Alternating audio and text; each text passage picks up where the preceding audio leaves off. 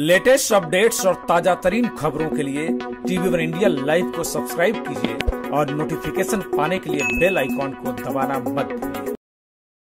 नवी मुंबई महानगर पालिका को एक बार फिर उत्कृष्टता के लिए पुरस्कार हासिल हुआ है। केंद्र सरकार ने जल प्रबंधन में उत्कृष्टता के लिए नवी मुंबई मनपा को वाटर प्लस मानांकन प्रदान किया है।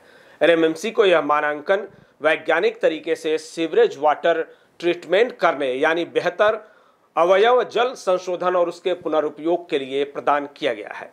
देखिए रिपोर्ट।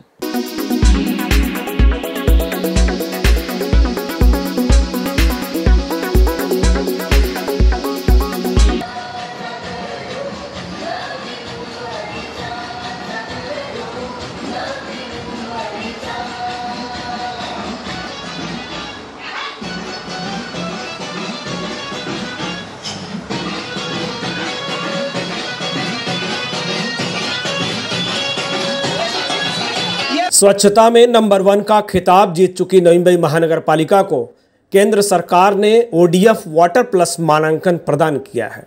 मनपा को यह मानांकन अवयव जल का संशोधन करने और उसका निरंतर उपयोग के लिए प्रदान किया गया है। इस मानांकन के बाद नवी मुंबई महानगर पालिका देश की ऐसी पहली महानगर पालिका बन गई है। आज इस उपलब्धि को लेकर महानगर पालिका ने नवी मुंबई में चित्र रथ दौड़ाया ताकि नागरिकों को इसकी जानकारी देकर सीवरेज वाटर के उपयोग के लिए प्रोत्साहित किया जा सके।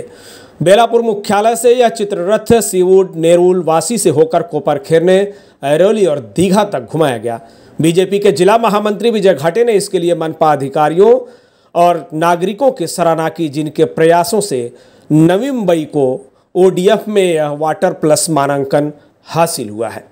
पानी ये आने वाले समय का सबसे क्रिटिकल इशू इंटायर वर्ल्ड में होने वाला है। जैसा आपका क्लाइमेट है, वैसे ही पानी भी है। आज के तारीख में वर्ल्ड का टोटल पॉपुलेशन का रिक्वायरमेंट के हिसाब से बहुत पानी का स्टॉक बढ़ा हुआ है। इंडिया में टोटल वर्ल्ड का 16 परसेंट पॉपुलेशन इंडिया में है। और ड्रिंकिंग वाटर जो वर्ल्ड में अभी अवेलेबल है, उसका 4 परसेंट इंडिया में है। आने वाले अगर समय में देखेंगे तो पॉपुलेशन जो 16 परसेंट है, वो बढ़ रहा है।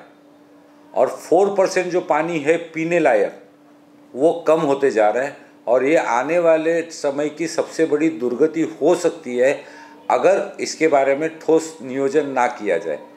अब नियोजन का मतलब क्या होता है? सप्लाई सिटी को आने वाला पानी से लेके बाहर जाने वाला पानी, यानी जो वेस्ट करके फेंका जाता है पानी उसको मिनिमल वेस्टेज और उसकी कॉस्टिंग की रिकवरी उसके पीछे जो खर्चा किया हुआ है, ये अगर टोटल पर्सपेक्टिव में अगर देखेंगे तो आपको मालूम पड़ेगा कि ये जो मानांकन लिया, मिला हमको, उसके पीछे नवी मुंबई के नागरिकों का बहुत बड़ा योगदान है, लेकिन उससे भी बड़ा योगदान है वाटर डिपार्टमेंट में जो दिन रात काम करते हैं एसटीपी प्लांट पे जो दिन रात काम करते हैं और उनका ये योगदान आने वाले नस्ल के लिए दिया हुआ है। तो सबसे पहले तो ओडीएफ मानांकन के लिए उनका सबका शुक्रिया अदा करना चाहिए। इसके लिए महानगर पालिका को साथ देना आपका कर्तव्य है, जो आने वाले अपनी पीढ़ियों के लिए पानी हमको छोड़ के जाना है। Bureau report, TV one India.